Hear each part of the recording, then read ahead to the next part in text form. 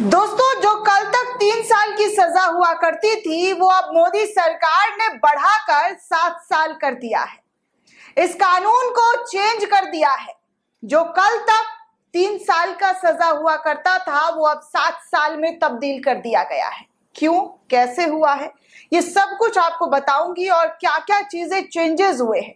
कल बहुत ही, जी हाँ कल बहुत ही धड़ल्ले से तीन कानून पास किए गए हैं।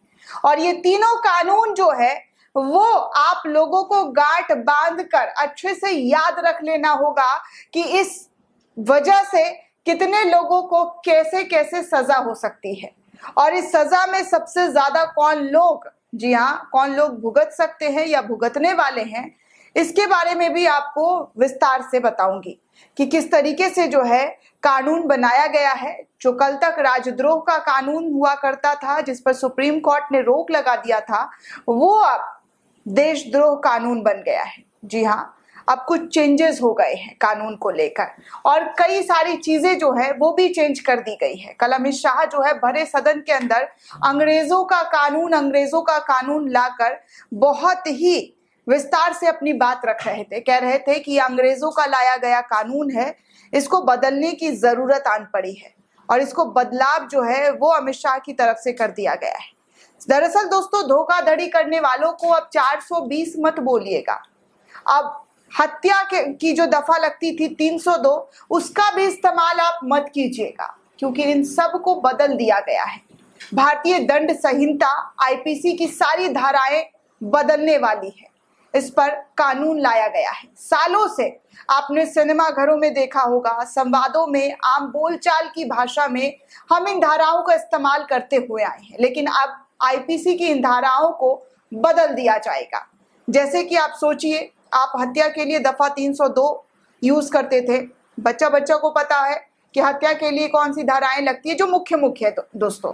तो लोग फटाक से बोल देते थे 302 धोखाधड़ी के लिए कौन सी धाराएँ लगती थी तो लोग फटाक से बोल देते थे 420 बलात्कार के लिए तीन आईपीसी की धारा जो इन अपराधों के लिए कानून में लागू की जाती थी, अब आईपीसी यानी कि भारतीय न्याय संहिता विधेयक 2023 के तहत इन धाराओं को अलग अलग कोड में बदल दिया गया है।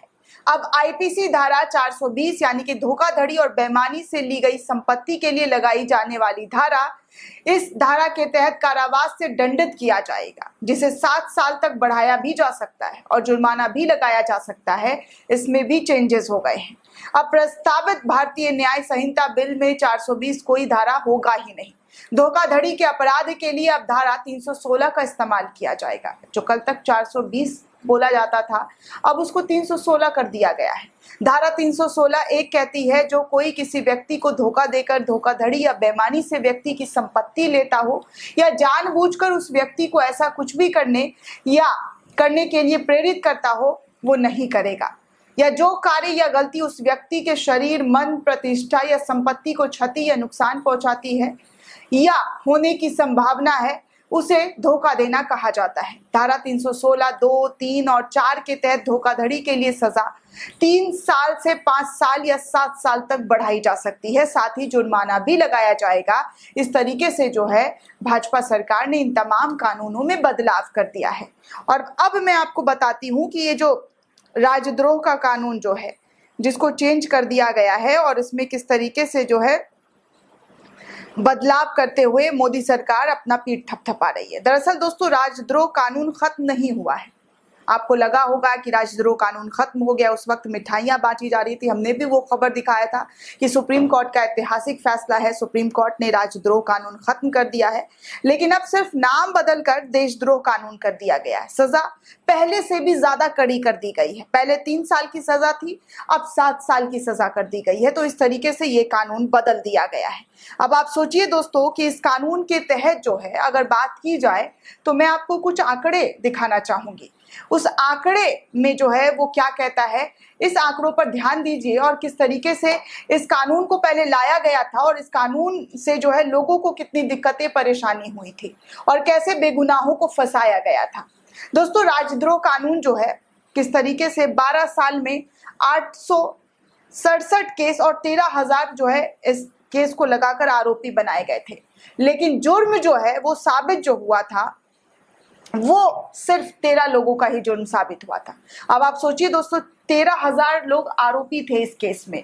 लेकिन उनको जो है, कोर्ट के अंदर जब दलीलें हुई, जब वाद विवाद हुआ, जब पक्ष रखा गया तो इसमें सिर्फ़ और सिर्फ़ तेरह लोग ही इस कानून के तहत जो है अपराधी पाए गए थे।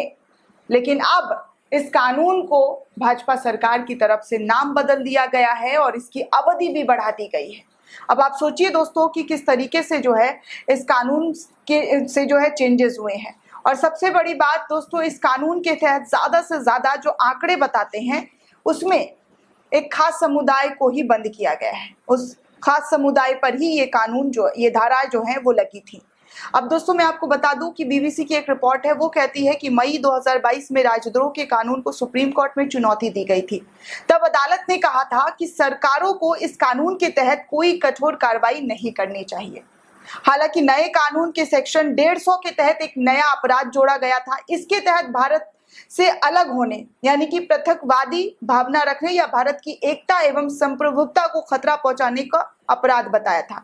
लेकिन अब आप सोचिए दोस्तों कि 2022 में सुप्रीम कोर्ट ने इस को इस मामले पर चुनौती दी गई जो याचिका थी, उसको सुनवाई करते हुए कहा था कि सरकार को ऐसे कठोर जो है कानून को रोक लगाना चाहिए, लेकिन फिर से इस कानून का नाम बदल करके इसको और ज़्यादा अवधि में जो है बढ़ा दिया गया है। अब आप सोचिए, इस धारा का उपयोग किस धड़ल्ले से और कितनी तेज़ी से किया जा रहा है और किया जाएगा, ये आने वाले वक्त में बहुत अच्छे से आपको पता चलेगा कि किस तरीके से कानून तो ला दिया गया है। सीआरपीसी की कई धाराओं को भी चेंज कर दिया गया है। जैसे मैं मैं आपको बता दूँ कि, जैसे अभी मैंने आपको बताया था कि कई धाराएँ जो है वो चेंज कर दिए गए हैं। लेकिन इनमें से जो मुख्य मुख्य धाराएँ हैं, उस पर मैं आपको जो है विस्तार से बताना चाहूँगी कि हत्या की जो 302 धारा जैसा मैं, कि मैंने कहा था, वो 302 को अब चेंज कर दिया गया यानी कि यहाँ पर भी नाम बदल दिया गया है। 101 धारा कर दिया गया है। धारा 420 को 316 कर दिया गया और धारा जो 144 जहाँ पर एक चार से ज़्यादा लोग इकट्ठा नहीं हो सकते हैं, उसको एक सौ सतासी कर दिया गया है। तो इस तरीके से जो है दोस्तों, इन तमाम चीज़ों को चेंजेस चेंज कर दिया गया है। अब कहा यह भी जा रहा है कि सुप्रीम कोर्ट और तमाम अदालतों को इस पर पूरे फिर से जो है इन धाराओं को याद करना होगा। जो सदियों से चला आ रहा था जो धारा, अब उसको पूरी तरीके से रटना होगा क्योंकि इन सब चीज़ों को चेंज कर दिया गया है।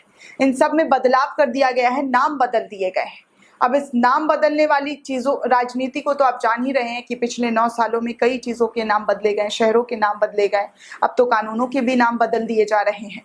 दोस्तों, इस पूरे रिपोर्ट को लेकर आप क्या सोचते हैं? आपकी क्या प्रतिक्रिया हमें कमेंट करके ज़रूर बताइएगा।